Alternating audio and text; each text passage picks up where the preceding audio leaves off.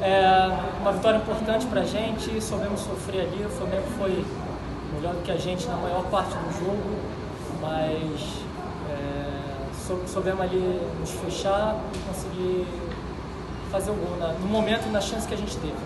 Fala só do gol.